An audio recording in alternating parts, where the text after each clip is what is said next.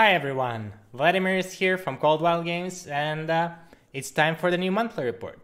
December 2021 is over and uh, I think it's safe to say that income has been higher than expenses. This is how it usually works uh, in winter months. And um, overall, my fears that the studio is going to end 2021 at a loss has not come through. We actually turned a small profit.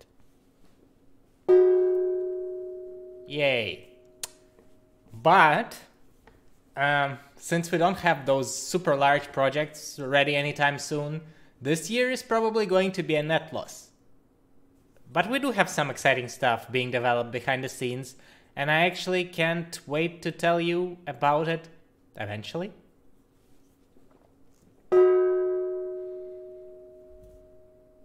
We got one more teammate, uh, Elizabeth, who is uh, going to handle social media.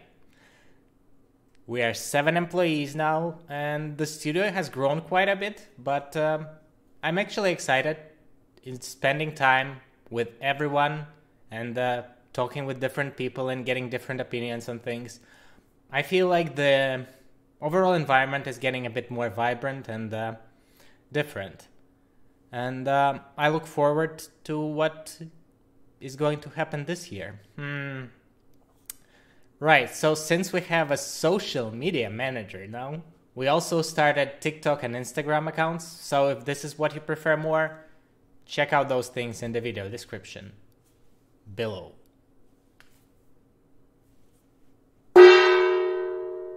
I feel like my delays on hitting the gong are getting quite ridiculous, so I might need to work on that you know, I feel like the first times when I was hitting the gong were more genuine, but now it just feels so scripted and uh, not real.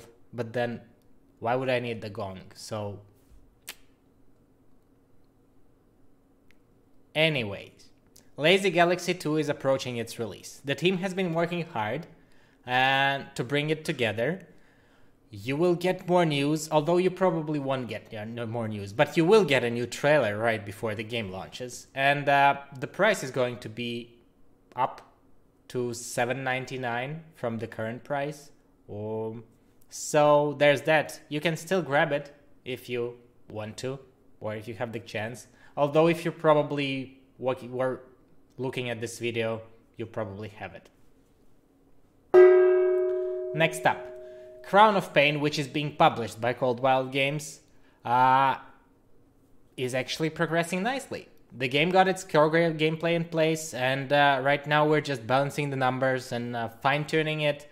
And uh, well, the most dreadful part for every one of us is the working on UI. Uh, I feel like this is such a large field that you have to that you really have to go through and it's just a huge pain for those of us who are not experts on it or who are not really used working on this stuff because like when I work on UI on all of the games, I think before Luna's Fishing Garden, the biggest issue with our games, well, subjectively, has been the UI, and uh, this is partially due to me. And I know the pains on how those things work, and I'm actually not proud of it, but yeah. I think when the studio expands a bit more, we will definitely need to find someone who just focuses on the UI part and doesn't care about the gameplay thingies and anything like that. So there's that. But anyway, Crown of Pain progressing smoothly, nearing the release quarter first quarter of 2022. Let's hope so. Let's hope so. Right, and the last part is my game, Late Bird. It is going to be released on January 20.